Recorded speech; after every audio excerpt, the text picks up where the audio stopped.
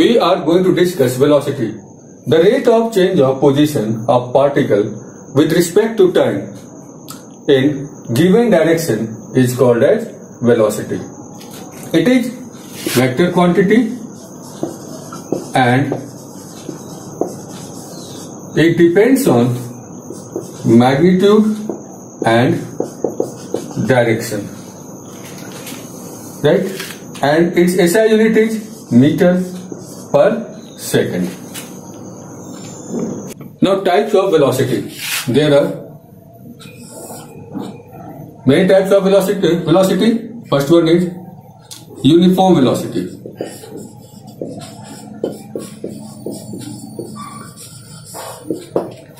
If a body covers equal displacement in equal interval of time, then velocity is said to be uniform velocity. Second one is non-uniform or variable velocity. If speed of the body is changing or direction of the body is changing, then velocity is said to be variable velocity. Next one is average velocity. Average velocity. It is the ratio of displacement to the total time taken for that displacement. We are going to discuss average velocity. Let position of the particle at time t1 is x1 and at time t2 it is x2. Now displacement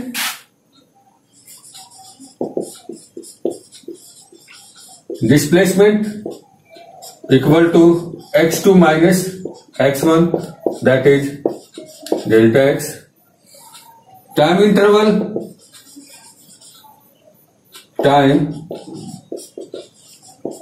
interval equal to t2 minus t1 equal to delta t now average velocity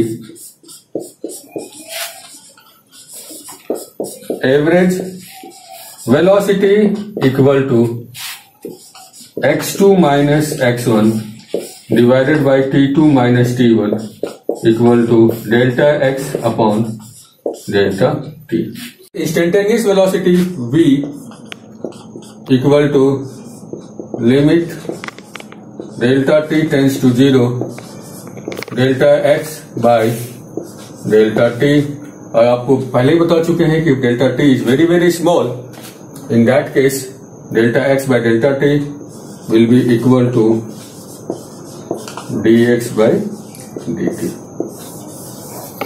now we are going to discuss acceleration the rate of change of velocity with respect to time is called as acceleration acceleration equal to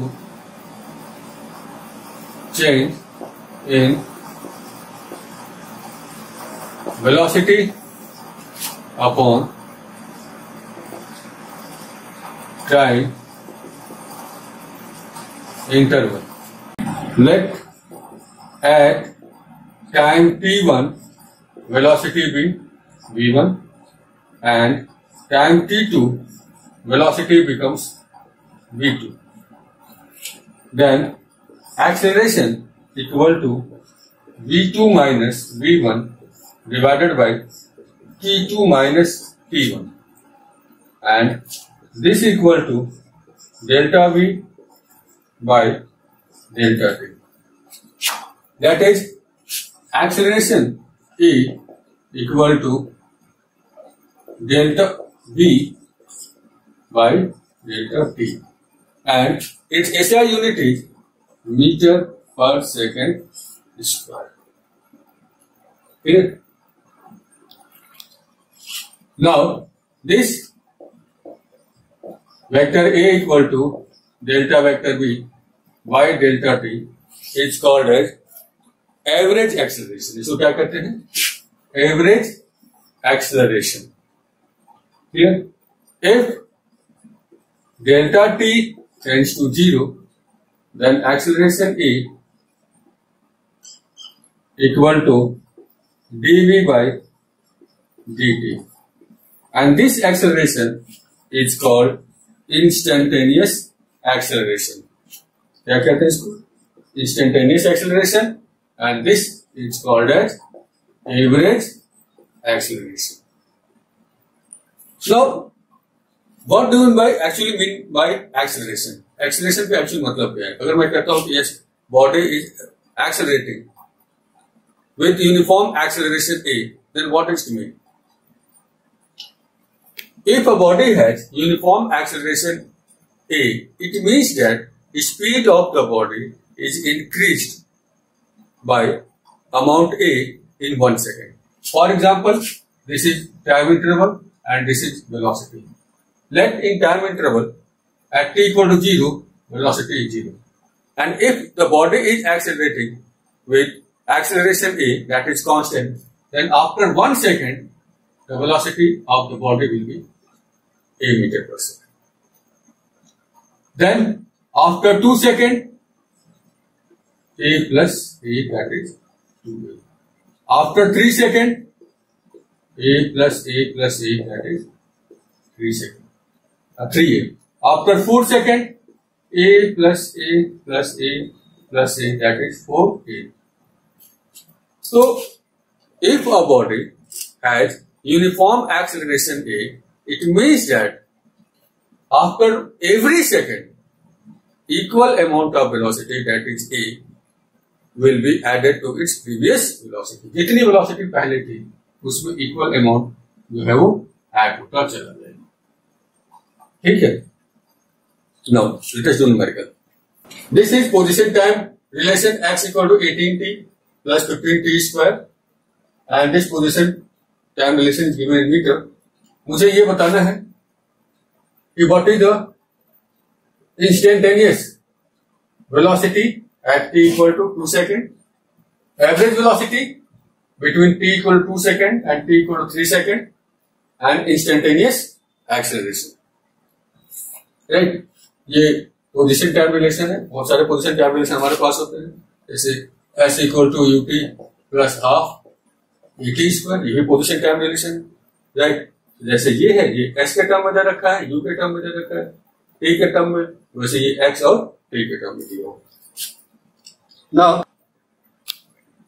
now we have to find out instantaneous velocity x equal to eighteen t plus fifteen a square equal to d x upon d t equal to eighteen plus thirty t that is v equal to eighteen plus thirty t this is the relationship between velocity and time जिस object का position time relation ये था position time का formula ये था velocity time का formula मुझे ये मिल गया Now, I have to calculate instantaneous velocity at t equal to 2 second.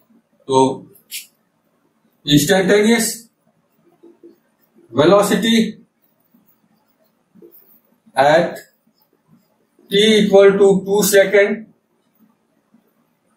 v equal to 18 plus 30 into 2 and this will be 60 and plus 18 that is 18 plus 60 that is 78 meter per second. This is the value for the instantaneous velocity.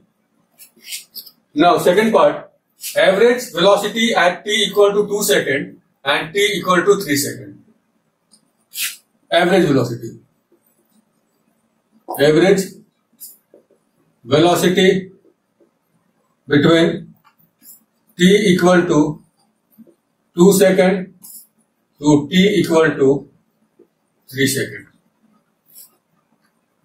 Let t1 equal to 2 second and t2 equal to 3 second. Now position of t one t1 to two second x one equal to eighteen into two t की value यहां substitute कर दीजिए eighteen into two plus fifteen into two square this will be thirty six plus fifteen into four 60 and this will be 96 meter. Now position of the particle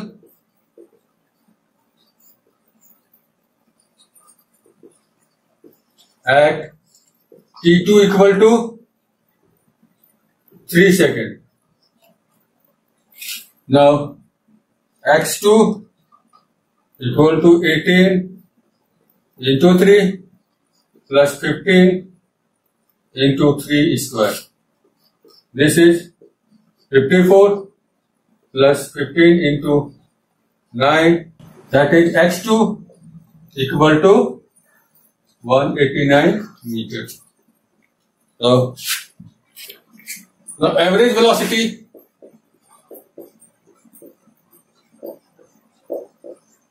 equal to x2 minus x1 divided by t2 minus t1 that is 189 minus 96 meter divided by 3 minus 2 and this will equal to 93 by 1 this will be second meter per second that is average velocity equal to 93 meter per second. Now we have to calculate instantaneous acceleration. Acceleration, instantaneous acceleration. Instantaneous acceleration equal to dv by dt. Now x equal to 18t plus 15t square. So v equal to dx upon dt and this is equal to 18 plus 30 t. Now acceleration A equal to dv by dt and this is equal to this will be 0 and this will be 30 that is acceleration equal to 30 meter पर second square इसका मतलब ये हो गया कि acceleration is constant जिस body का position time relation ये था उसका एक्सेलरेशन कैसा है कांस्टेंट है ये टाइम पोजीशन दोनों ही इंडिपेंडेंट है ठीक थैंक यू